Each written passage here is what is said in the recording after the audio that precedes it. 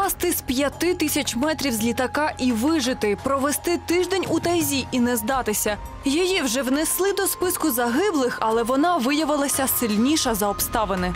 35 років тому щаслива Лариса Савицька з чоловіком поверталася літаком зі шлюбної подорожі. Закохані роздумували про плани на майбутнє, навіть не підозрюючи, що їм не судилося збутися, адже вже за мить їх Ан-24 зіткнеться з бомбардувальником. Літаку відірвало крила разом з бензобаками і дахом. За долю секунди небесний гігант перетворився на гору уламків. Жахливий стрес та опіки. Температура з плюс 25 впала до мінус 30. Моторошні крики та свист повітря. Загинули всі пасажири. І тільки якимось дивом вижила Лариса. Смерть свого чоловіка вона побачила на власні очі. Я прощалась с мужем мысленно, то есть как-то я ему говорила, что мне очень страшно умирать одной, что вот тебя уже нет.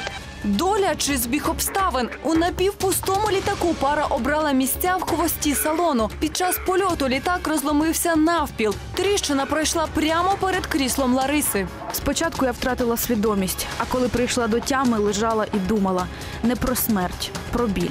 Я не сподівалась врятуватися. Хотілося лише заснути вічним сном без болю. Впала в тайгу. Жінка провела у тайзі три дні. Коли прийшла до тями, тіло чоловіка лежало біля неї. Ні їжі, ні одягу, ні прихистку. Від шоку Лариса не відчувала болю. Коли рятівники її знайшли, не могли вимовити і слова. Струс мозку, пошкодження хребта в п'яти місцях, переломи ребра, руки, ніг, зуби майже всі вибиті. Ось як виглядала жінка. Та незважаючи на жахливі каліцтва, інвалідну групу Ларисі так і не дали. Лікарі сказали, що кожна травма окремо не тягне на інвалідність. Була б одна серйозна, тоді, будь ласка.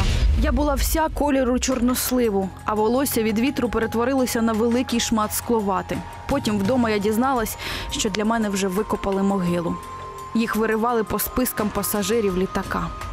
Жінку вилікували, щоправда, не державні лікарі, а знахар Костоправ. Зараз вона живе як всі. Через п'ять років після катастрофи народила хлопчика. Працювала і продавцем, і вчителем. Сьогодні Лариса офіс-менеджер. Вона поводить себе так, ніби ніяких травм і не було. Про подію нагадує запис в книзі рекордів Гіннеса.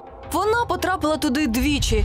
Вперше тому, що вижила, а вдруге за найменшу компенсацію втраченого здоров'я 75 рублів. Аварію згадує лише раз на рік, як другий день народження. Напівжартома каже, що вона улюблена дівчинка Бога.